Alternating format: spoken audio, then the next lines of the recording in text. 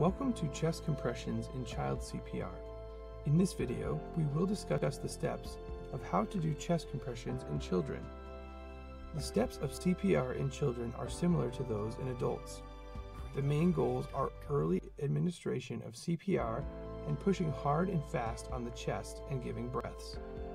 Children who appear adult size can be treated as adults for the purposes of CPR. As a rescuer, if you are untrained in CPR, then give the hands only CPR. The hands only CPR is when you give continuous compressions but no breaths. To do CPR on a child, first position them on their back on a firm, hard surface.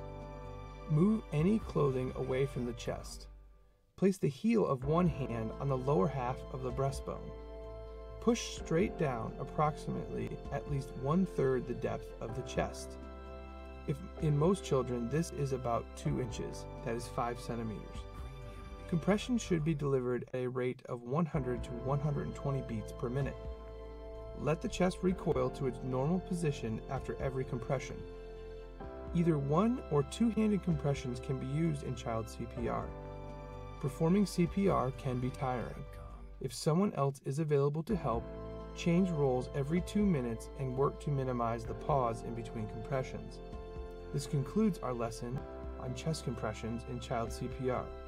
Next, we will review the steps of giving breath in child CPR.